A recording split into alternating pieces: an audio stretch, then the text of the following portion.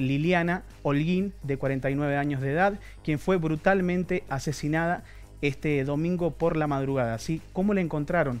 Bueno, eh, vieron salir en primera instancia lo que se eh, dice respecto a las investigaciones, vieron salir a la camioneta de su ex marido de su vivienda.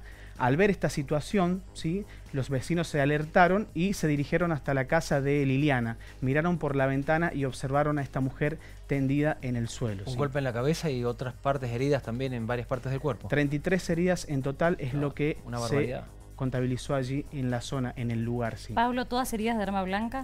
Heridas de arma blanca, sí, al parecer un hacha de cocina. Es lo que se habla con el elemento que habría producido estas heridas el homicida. Eh, ¿Hay una versión que primero eh, ella pierde la vida o muere por un golpe en la cabeza?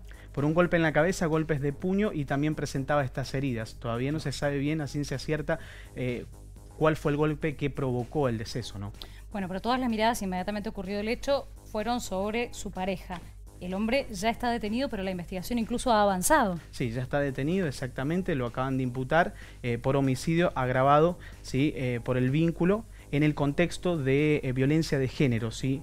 femicidio. Mm. lo acaba de imputar la, fiscal Claudia Ríos, exactamente. ¿Y ya fue trasladado a la penitenciaría? Fue derivado a la penitenciaría provincial, sí, esto lo acaban de confirmar fuentes del Ministerio de Seguridad. Nosotros esta mañana pudimos dialogar con algunas vecinas del lugar ¿Cómo se mostraba el barrio? Bueno, directamente no querían los vecinos abrir las puertas de su vivienda, cerraban las ventanas, no querían hablar de este hecho.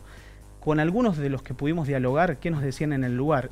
Y esta persona, el ex marido de Liliana, se mostraba una persona seria, que nunca dialogaba con nadie, que subía a su camioneta, se iba a trabajar, pero nunca podían entablar diálogo con esta persona. También hablaron de ella, ¿no? Exacto. Contaban cómo era la mujer, que era muy amable, sociable. Muy servicial, trabajadora, que se levantaba todas las mañanas y se dirigía a su trabajo, era ama de casa. ¿Cinco hijos tenían? Cinco hijos, exacto.